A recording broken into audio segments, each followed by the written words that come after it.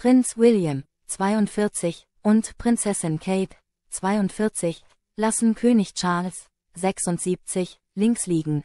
Das zukünftige Königspaar wird in diesem Jahr nicht am traditionellen Weihnachtsessen teilnehmen. Normalerweise wird das Weihnachtsfest der königlichen Familie in Sandringham House gefeiert, mit Geschenkaustausch am Heiligabend, einem Kirchenbesuch am Morgen des ersten Weihnachtsfeiertags, gefolgt von einem Festmahl und der Ansprache des Königs. Doch wie The Sun berichtet, werden William und Kate dieses Jahr darauf verzichten.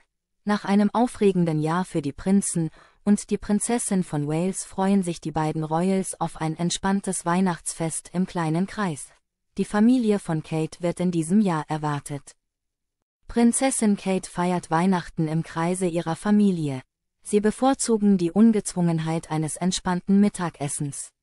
Und ich gehe davon aus, dass dies auch dieses Jahr wieder der Fall sein wird, wenn die Familie Middleton hinzukommt, erklärte eine königliche Expertin. Ein Fest im Kreise ihrer Familie, da ist sie sich sicher, sei nach Kates Krebsdiagnose genau das Richtige für sie. Nicht nur Kate musste dieses Jahr einen schweren Schicksalsschlag verkraften, auch König Charles kämpft mit der gleichen Krankheit. Während Kate inzwischen ihre Behandlung abgeschlossen hat, befindet sich der Monarch noch in Therapie. Daher wird vermutet, dass er die diesjährigen Festtage ebenfalls ruhiger angehen lassen wird.